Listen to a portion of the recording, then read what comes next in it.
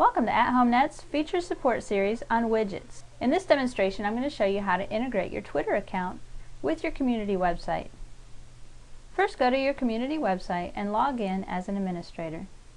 If you are currently using widgets, you will see a private and public tab on your private homepage and an edit page button in the top right. You must be using widgets in order to integrate your Twitter account with your community website.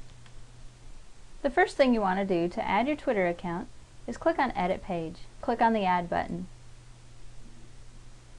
From your widget options you will see one called Twitter. Click on that and hit Next.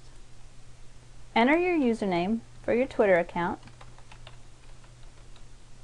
Select the number of Twitter posts that you would like to show on your widget and hit Apply. All new widgets go to the bottom of the page, so let's scroll down and take a look. You will now see our Twitter feeds, and this widget can be moved anywhere you like on the page. Once you have positioned the widget, scroll to the top of the page and click Done. Now when residents log into the web page, they will be able to see your latest Twitter posts.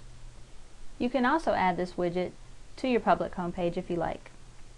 Thank you for watching our feature support series on widgets, and please join us on our YouTube channel at www.youtube.com slash athomenet.